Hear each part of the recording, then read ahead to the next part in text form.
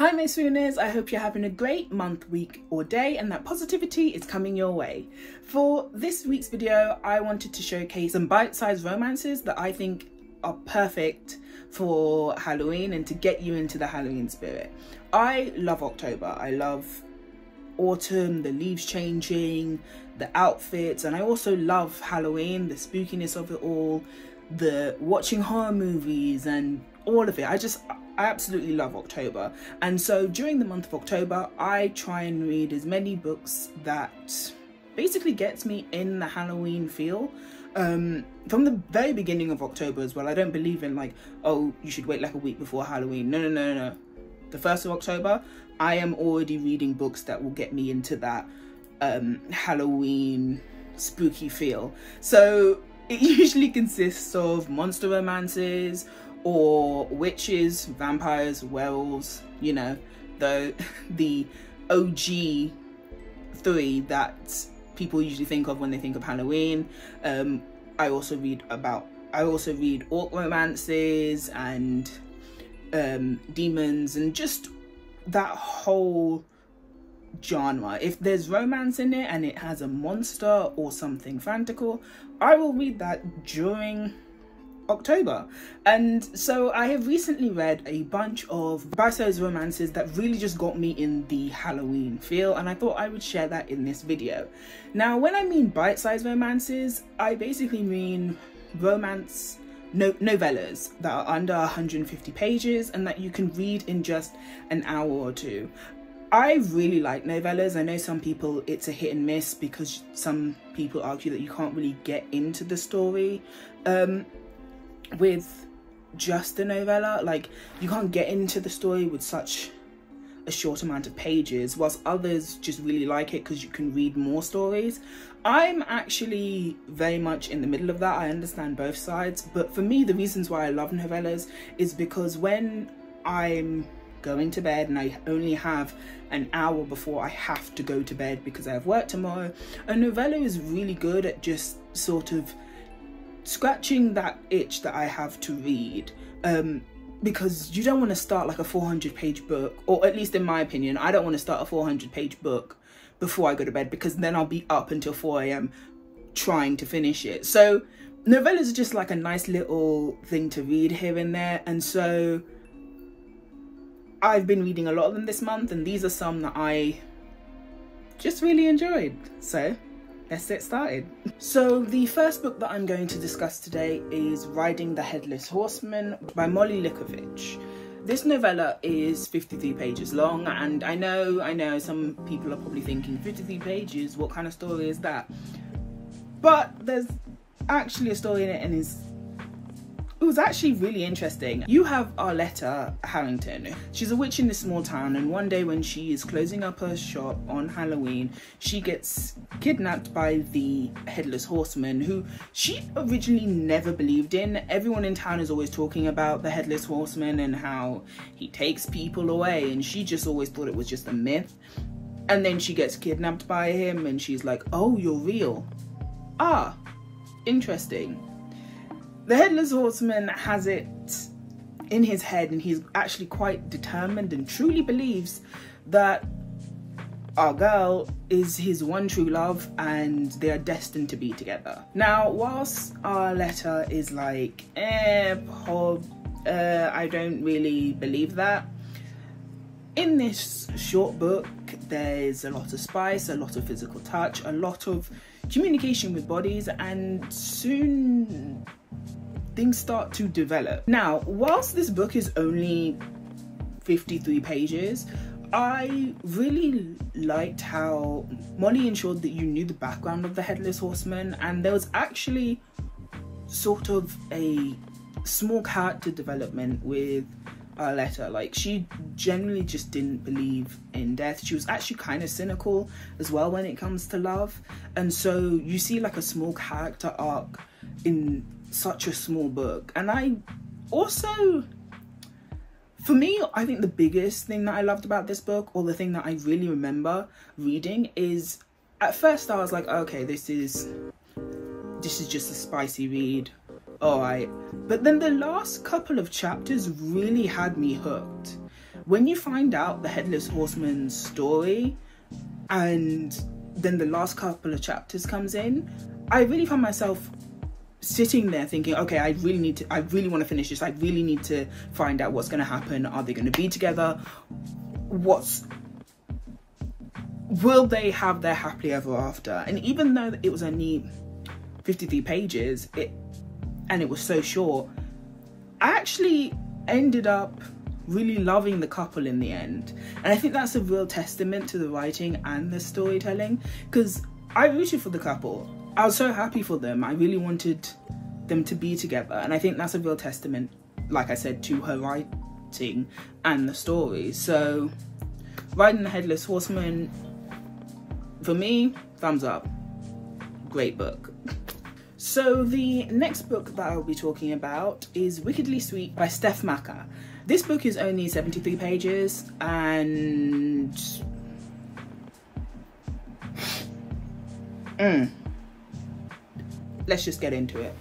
Okay, let's just get into it. Okay, so Wickedly Sweet centers around Audrey. Now, Audrey has just had a terrible breakup with her boyfriend as she discovers him cheating with the girl he told her not to worry about and stuff like that. Anyway, she somehow managed to get on her brother's trip to to Salem. Audrey's really into Halloween and horror, and she just feels like going to Salem for this half term break would be a great distraction, and she's just gonna have a lot of fun. Now, she's just there to forget about her ex, join the witch hunt that the town does, and her brother's best friends, Brax and Nate, really want to help her with that fun if you know, if you get my drift. I mean, it's a spicy read. This book is a reverse harem brother's best friends, not just one, and it's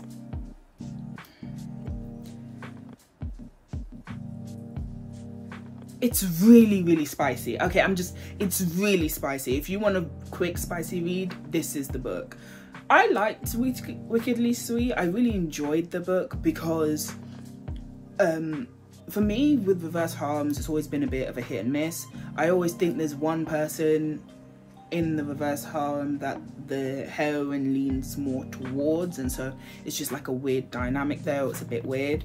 Um, it was a bit biased but I must admit in this book both of the men, Brax and Nate, got equal amount of time in my opinion, and they really do like Audrey. Like from the very beginning, from the very first page, where she is sitting in the car with her brother and her brother is going off being like, oh, you ruined our trip, yada yada yada, blah blah blah, wine, wine, wine.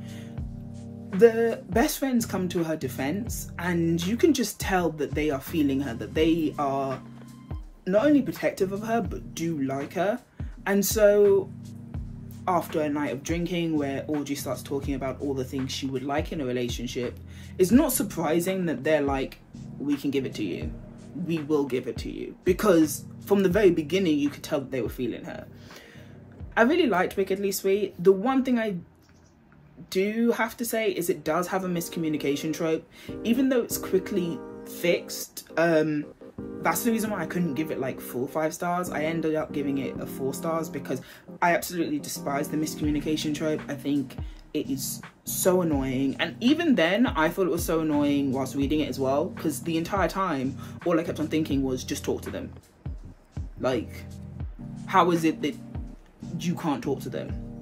Um, overall, Wickedly Sweet is a short, spicy read that I really enjoyed. I loved the heroine, I loved both of the romantic leads, and it had plenty of funny moments as well as spicy moments. So if you want to read under, if you want a book to read under half an hour or like an hour, this is the book.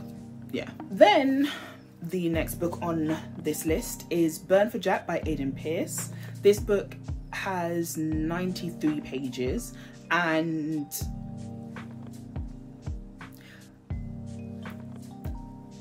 personally, this was one of my favorite reads. This was one of my favorite reads that I have read so far in October. So, Burn for Jack is centered around um, Ada, yeah, Ada, who is living in this small town where she is constantly being picked on and bullied and just treated disrespectfully by her classmates due to her family legacy. Now, her family legacy is that centuries ago, literally centuries ago, one of her ancestors was burned as a witch with her lover, Jack. And Jack, whilst they were being burned, made a deal with the devil to save her life and ensure that her soul lives. Now, because of this legacy and because of the town's prejudiceness and just everything, my girl goes through it. Like, she literally goes through it. And on the graduation day, her entire class is going to the pumpkin patch. Now, she has been told not, never to go to the pumpkin patch. Like, do not go there because bad things happen to her family, like her lineage, when they go there because her grandmother went there and came back crazy, apparently. But she decides to go because she's trying to win a bet against one of her bullies who says, Look, if you stay and do all the rest of it and dress up like your ancestor on this night and stay in the pumpkin patch, we'll give you 200 quid. And all she's thinking is, if I get this 200 quid, I can go. But what she is not expecting is Jack to appear. Now, Jack is the headless horseman, and all he wants is to reconnect with his one true love. And that's that's where the story begins. And oh, that's where the story like starts. What I really loved about Burn for Jack was the fact that the author really focused on the backstory. So there's like I think a whole chapter where we really dive into the story of Jack and his one true love and what he did and how the town sort has sort of twisted that tale to make it seem like they were in the wrong and they were doing stuff that was wrong and that was the reason why they got burned. When in actuality our girl turns around and goes no because this is the way our family says it. And the way she says it it's a love story. It's a beautiful love story that ends in a very that has a tragic ending. I there were so many tropes in this book that just hit. So, for example, Jack was very much you touch her, you die. Um, you upset her, you die. I will kill anyone to protect her. Like, he was very much like, mess with my girl and find out. Like, if you cross her, you cross me. You know what I mean? Like, that is literally what he was about. And I, I really liked that because our girl just doesn't have anyone. Like we see that in her family is very dysfunctional. She doesn't have anyone. So when Jack comes around, he, he's like, "You now have me," and I just, I loved that. I loved the story.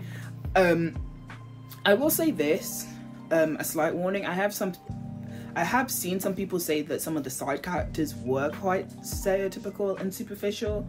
Like the bully is literally the bully like it's it's it's very much this is what a bully would be like. Like it's it's not complicated. It's think of a bully from like a tv show like a kids tv show that you used to watch.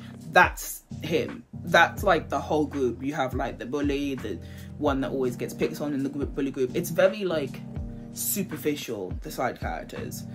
But I, for me personally, what makes up for that is the fact that the two main characters have some level of depth, um, and their romance really did steal the show, in my opinion. I just at, one point I was like, oh, I don't really care about the side characters. I want to know what's going to happen to our our leads, like what's going to happen to them, because they've been they've both been through so much. Is this going to be a happy ever after? Is this going to be a tragic ending? What? So overall for a book that is under 100 pages burn for jack had me hooked and it definitely packed a punch and it hit all of the tropes i like. Like you know it hit it hit all of the tropes and i really enjoyed the two main characters at, as well. So for me, this book was a hit, and I think a lot of people will enjoy it. So then we have the Dalwick Demon by Ashley Bennett, which is only 110 pages. Now, I'm a huge Ashley Bennett fan. I'm also signed up to her Patreon as well. I've basically read nearly all of her books, um, and I saved this book for October, and it didn't disappoint. So, you got my girl Iris. Now, Iris has been through a lot in her life. Like, she's been through a lot, she's on hard times, and now she's having to sell her body to survive. And one day, when she's doing this, the town basically picks her up, and I mean literally the town, um, the townspeople and the church pick her up and say, You are being thrown into the hole as a sacrifice for the Dalwick demon. Yeah, they accuse her of like prostitution and witchcraft, which is just whatever. Basically, what they want to do, they need a sacrifice and they've chosen her. She's begging them not to do it, they chuck her in, and what she finds is she lands on like a really comfortable bed of leaves, and she's like, she's scared, but she's also thinking, huh, this is a bit interesting. And that's when she meets the Dalwick demon. Now, Selvin, whilst he is a demon, his job isn't actually to eat the humans, but rather he protects them. He takes all of the sacrifices and takes them to a land where they will be safe and they will be away from prejudice and from the people who threw them down there to begin with. This is his this has been his job for centuries. He lives in isolation in this really dark cave and all he does is take these sacrifices to a safe place. That's literally all he does. However, with Iris, he can't help but notice how pretty she is and how kind she is. And Iris can't help but fall in love with this demon who's eager to please and eager to help. So even though they have this connection, there's also an element that's standing in the way, which is the fact that Selvin feels like it's his duty to stay in the cave and make sure the sacrifices are safe. So, throughout the journey of them making it out of this cave, because the just a side note, the cave is underneath a mountain as well. So it's like it's a hole and then you've got this cave and it's underneath the mountain. So it takes it takes like a couple of days to get out from underneath it and go to this land. So during those couple of days where they are traveling, they connect and the question is will Salvin finally get leave this cage and find happiness with Iris? Or will he stay because he believes it's his duty? Ashley Bennett has a way of making heroes that automatically just go on my book boyfriend list. Like, it's just ridiculous at this point. I don't know what she puts inside her books or why I'm so addicted to her book, to her heroes, but I am because Salvin stole my heart. He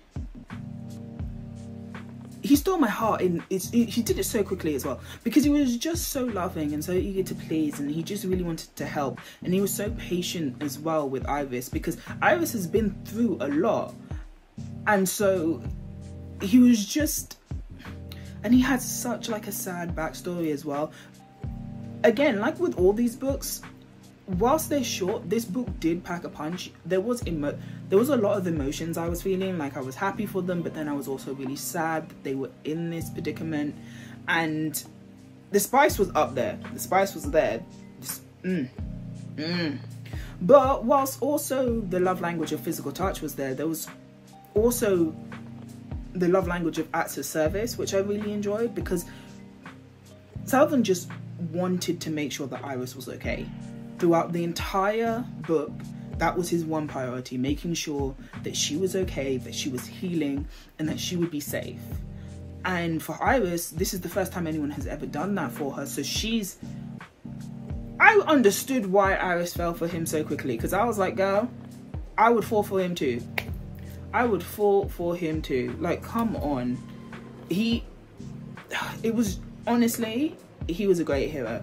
And then when it comes to Iris, I loved her. I loved how understanding she was, how even though she had been through so much, she didn't let that stop her from feeling the way that she was feeling and sort of having a guard up. Instead, it really sort of pushed her to actually accept the kindness and accept everything and I really enjoyed that as well. Like I thought that was amazing. Also the side characters in this hit even though there's not a lot of people in this story the side characters were amazing.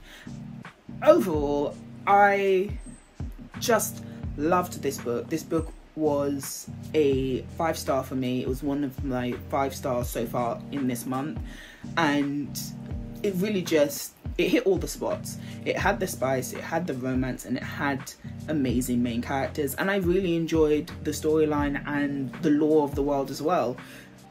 With I will say this with all the books I've mentioned, the authors really do know how to put bits of the background and the history of this story in the book without it basically making the book longer or like not a novella anymore. You're not going to get 200 pages of just pure backstory when you read this, but you will walk away being like, oh, I know the reason why this happens, and I know the reason or how this happens, or I know about how they became friends and the rest of it. And it's all just little sentences here and there and conversations here and there. And I think that really just makes the book and makes the world. So I've got to do a shout out to that because they didn't just turn around and say, okay, figure it out, figure out this world, figure out this law, figure out, like, we don't really need to discuss it.